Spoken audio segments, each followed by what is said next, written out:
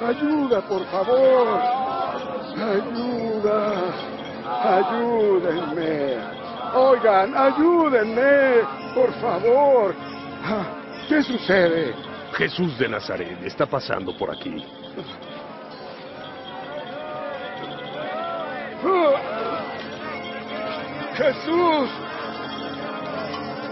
Oh, Jesús. Hijo de David, ten compasión de mí.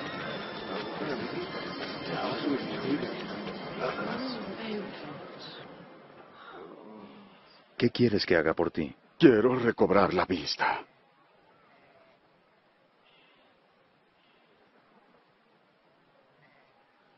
Recóbrala.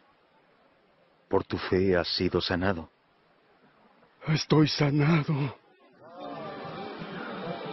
Puedo ver la luz.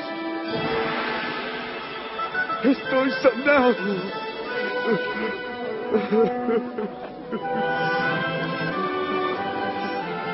¡Milagro! ¡Milagro! Palabra del Señor.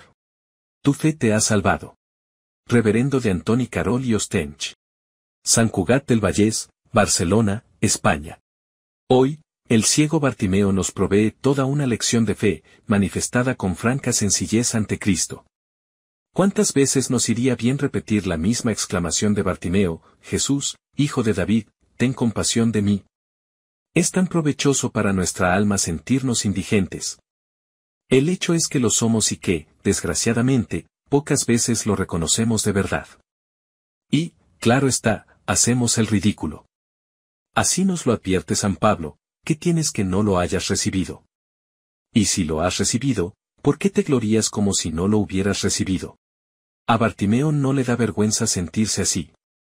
En no pocas ocasiones, la sociedad, la cultura de lo que es políticamente correcto, querrán hacernos callar, con Bartimeo no lo consiguieron. Él no se arrugó.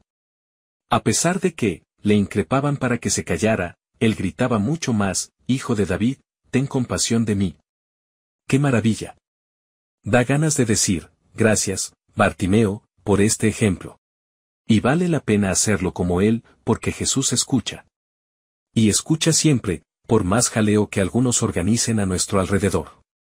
La confianza sencilla, sin miramientos, de Bartimeo desarma a Jesús y le roba el corazón, mandó que se lo trajeran y, le preguntó, ¿qué quieres que te haga? Delante de tanta fe, Jesús no se anda con rodeos. Y Bartimeo tampoco, Señor, que vea. Dicho y hecho, ve. Tu fe te ha salvado. Resulta que, la fe, si es fuerte, defiende toda la casa, San Ambrosio, es decir, lo puede todo. Él lo es todo, Él nos lo da todo. Entonces, ¿qué otra cosa podemos hacer ante Él, sino darle una respuesta de fe? Y esta respuesta de fe equivale a dejarse encontrar por este Dios que, movido por su afecto de Padre, nos busca desde siempre. Dios no se nos impone, pero pasa frecuentemente muy cerca de nosotros, aprendamos la lección de Bartimeo y, no lo dejemos pasar de largo.